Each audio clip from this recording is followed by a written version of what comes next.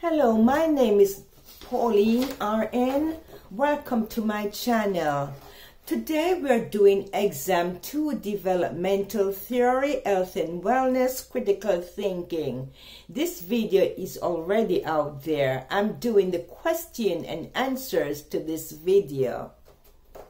This is part 2. Please hit the like button. Please subscribe. Please share this video.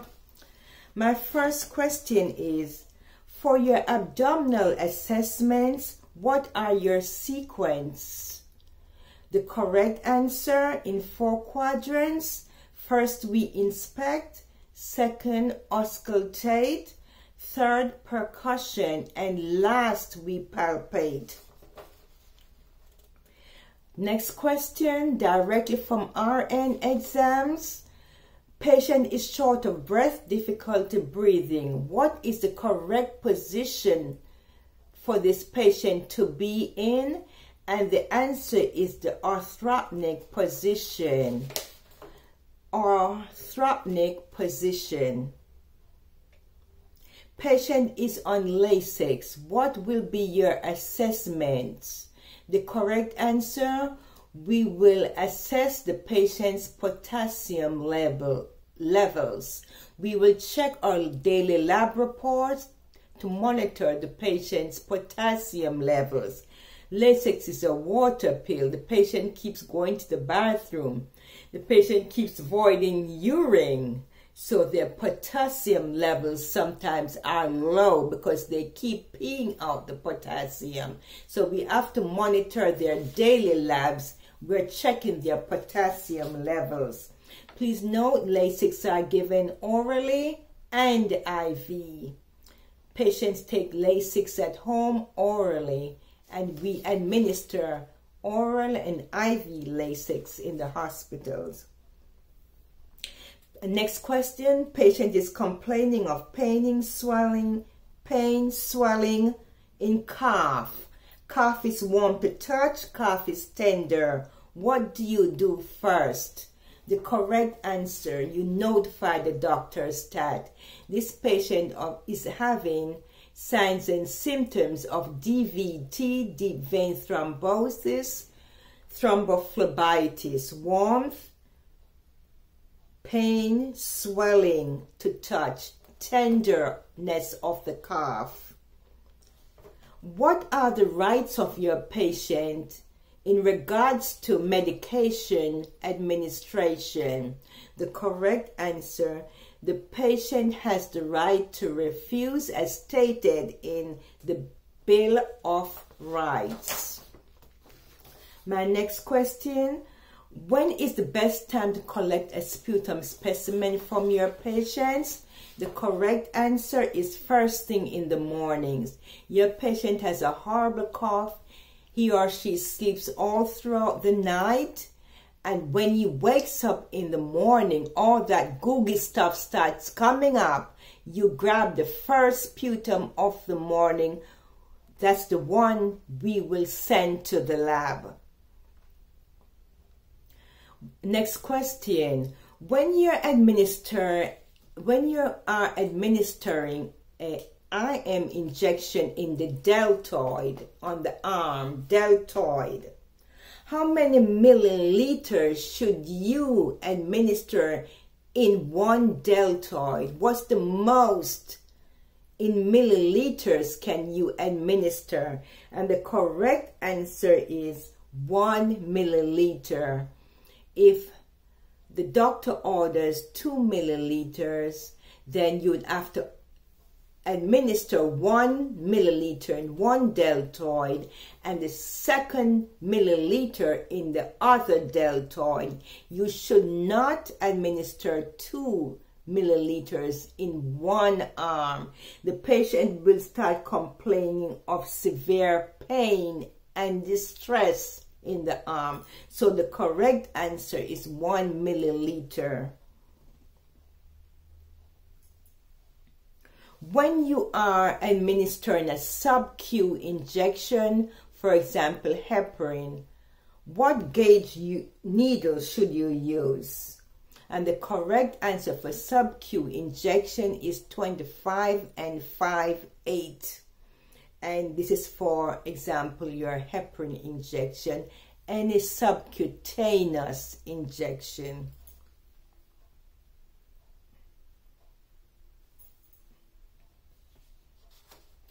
Next question.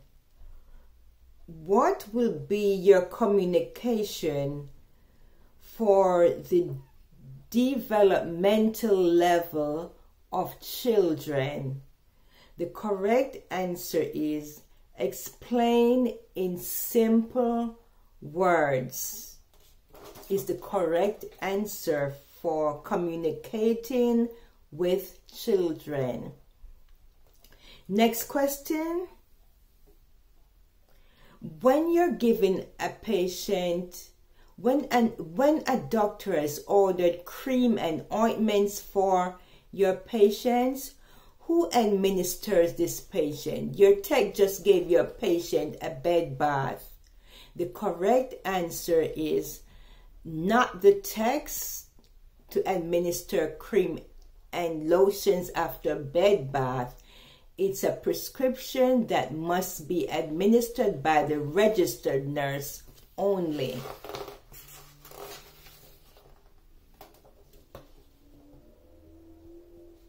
Next question. Psychosocial development occurs how is the question. And the correct answer is in the various stages of human life that are environmental, developed by Erik Erikson, stages of development. So, I'll repeat this question. Psychosocial development occurs how? The correct answer is in various stages of human life that are environmental is developed by Erik Erikson stages of development. My next question is physiological development.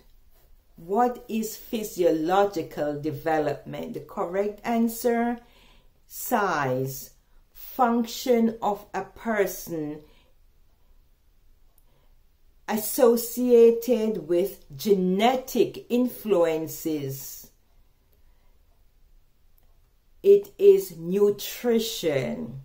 So physiological development is size and function of a person, is associated with genetic influences, is associated with nutrition. These are all physiological development. Next question, what is cognitive development? And the correct answer is how we learn elderly at risk for what? Elderlies are at risk for, and the correct answer is osteoporosis and falls. Next question If your elderly patient is confused, what do you do? The correct answer is notify your doctor your doctor will give you an order. This is new confusion. It's not that the patient was sometimes they're admitted with confusion. But if you have a patient who was oriented yesterday times four, an elderly person, and today the person is confused oriented times one, this is new. You notify the doctor, and your doctor will give you an order for a urinalysis and we are looking for signs and symptoms of urinary tract infection.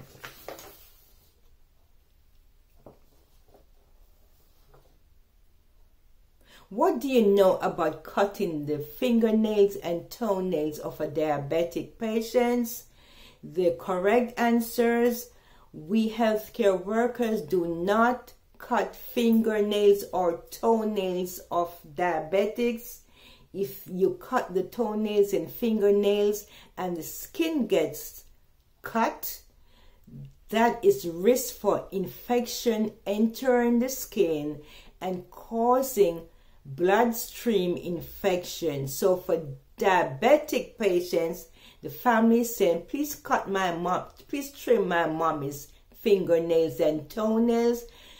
Let the family know they should get a referral to a podiatrist. A podiatrist is the only one who cuts fingernails and toenails.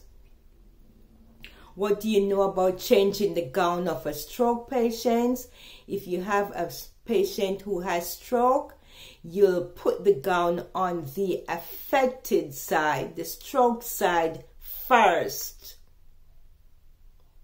Then the good side is last.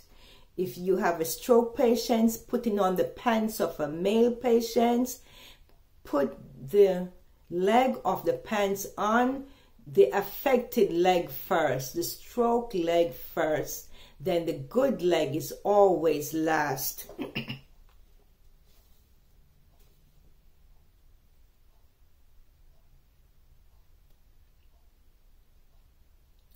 is pain subjective or objective? The correct answer pain is always subjective.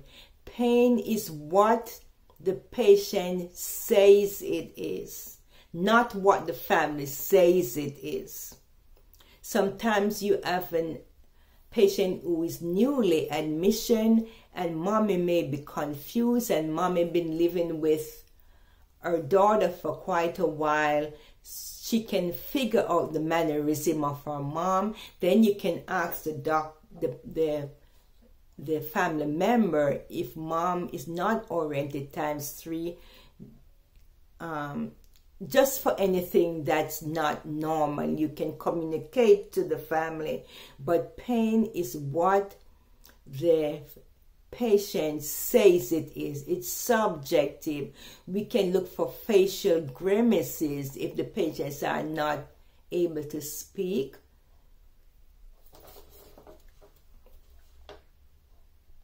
Erik Erikson stages of development 0 to 18 years old.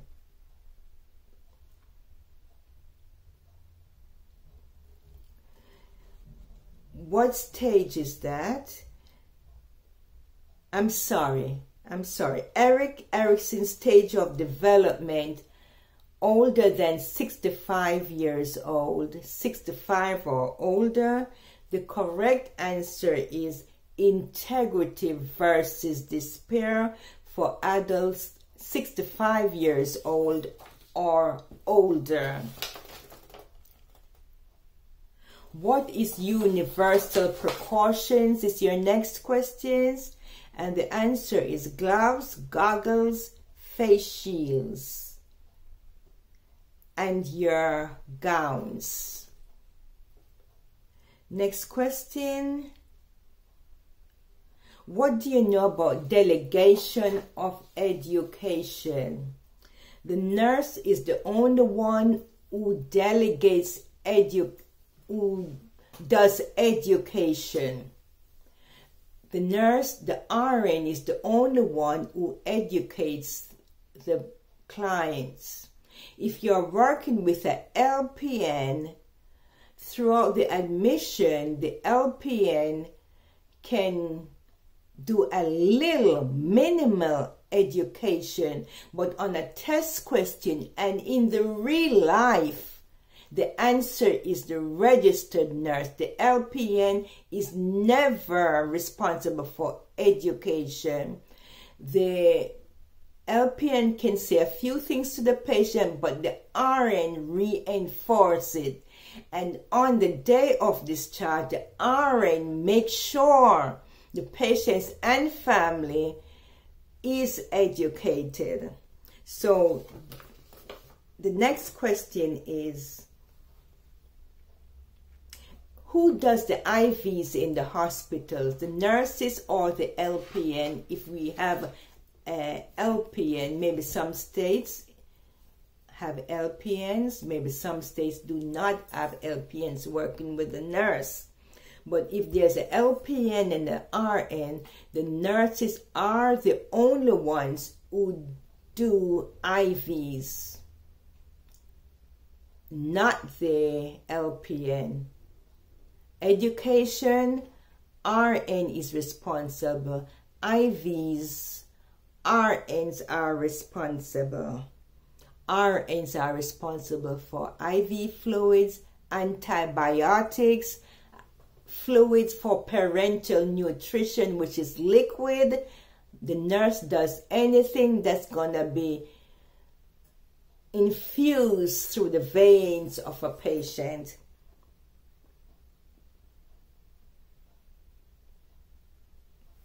When we talk about delegating work to a new nurse or maybe an agency nurse coming into the hospital for the first time or maybe an agency nurse who is not really familiar with her our floor what do we know about this?